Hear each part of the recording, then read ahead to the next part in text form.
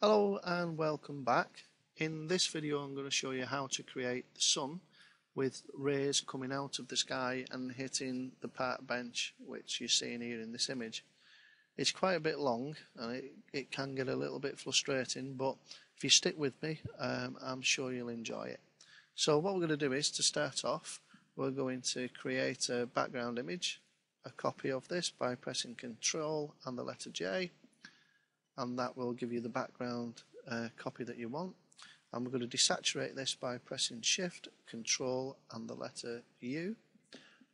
And once that's done that, it took all the colour out of it, we need to darken the image because I'm going to put the sun and the rays coming from the top right hand side projecting down onto the park bench where there's already light on that uh, from the sun itself so it's going to help me in the image itself so what I'm going to do is I'm going to have to press Control and the letter L to bring up the levels box and darken the image because I want to dar darken it down but enough so I can put in the um, direction of the rays coming from. So I've moved the black cursor down and the white cursor up to meet it. Click OK. And as you can see, there's light spilling all over the place rather than from a direction. Easily remedied press the letter B on your keyboard. Make sure that the uh, background is set to black and this has obviously picked up the uh, brush tool itself. Make sure the opacity is on 100% and what we're going to do is just paint over the overspill of uh, light that's coming down. You don't have to be accurate on this because obviously light's not accurate itself. It will spill out all over any image. So with that I think that should do it.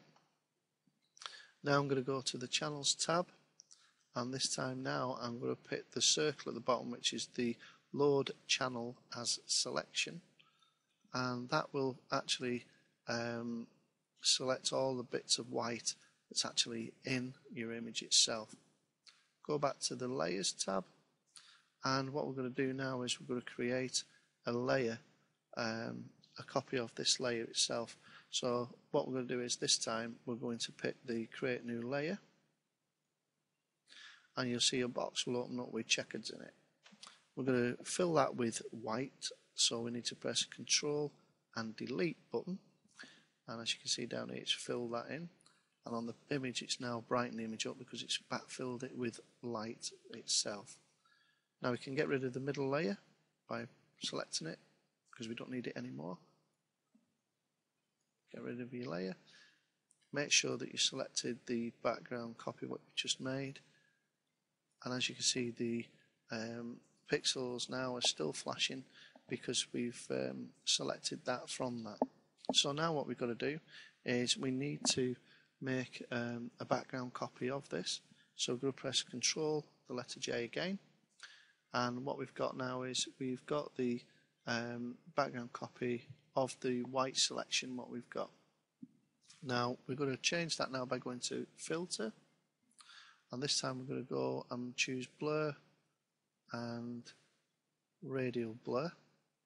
Now on this will come up, I've already chose this as zoom, put the uh, quality as best and the amount has got to be 100% but you can position this wherever you want the rays coming from. In this case I'm going to the top um, left hand corner and as you can see where the lines are that's where the projection of the rays are going to come and hopefully it's going to fall on the park bench. So once I've done that I'm going to click OK and it'll give a few minutes for it to um, create the, the rays coming from the sky and once it's done this then we can put some colour into it and try to make it as natural as we can within the image. I don't know how it's going to look on the uh, the video itself, but we, we, can try. So I don't know if you can see this, but there is rays coming down. It's not as strong as I would like it to be for the video, but it is coming from the sky. Now we need to change that by going to the FX button at the bottom, and we're going to go to and select the outer glow.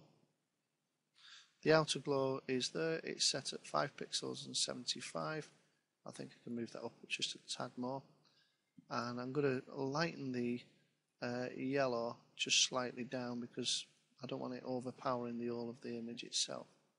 Click OK and as you can see now the rays are just hitting the park bench just nicely where I wanted them. The next thing I need to do is select the blending mode to a soft light just to soften it down because obviously sun itself that comes through sometimes it's harsh but it's very faint at times to that natural soft look to it. Now what I've got to do is I want to make a copy of this this background again by pressing Control the letter J and as you can see now it's deepened the rays coming from the top left down onto the park bench.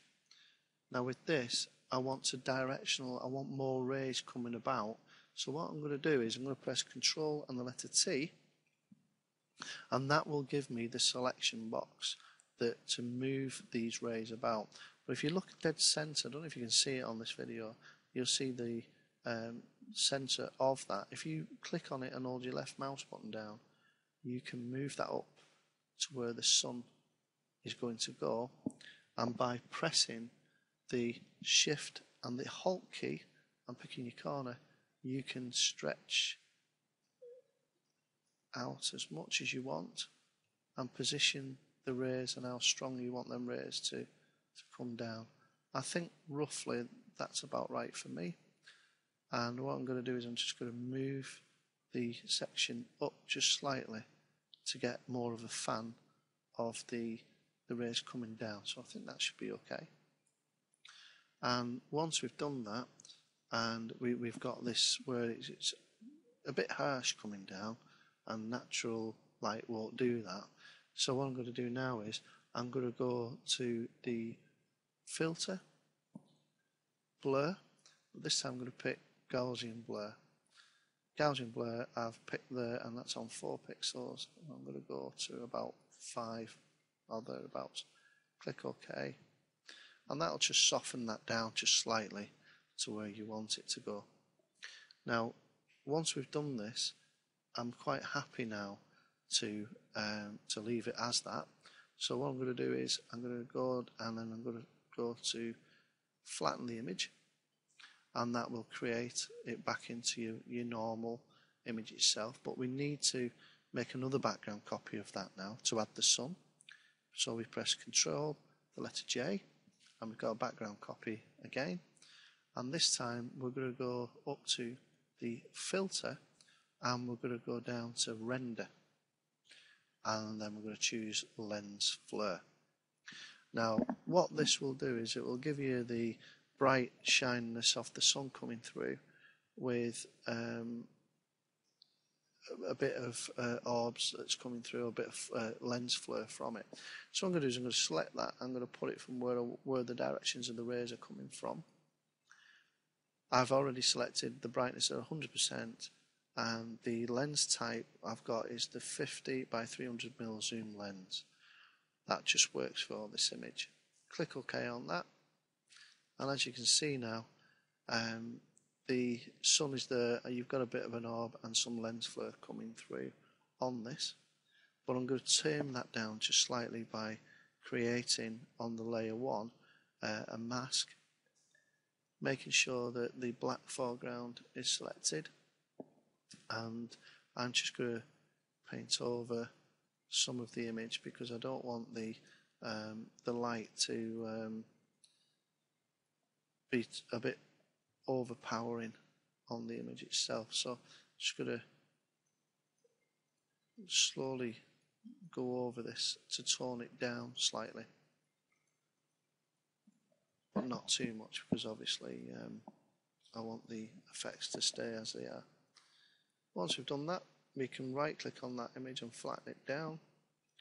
And then we're just going to check the levels by going to uh, image, adjustments and levels, or you can press control and the letter L. And with the middle slide, I'm just going to slide it down just gently.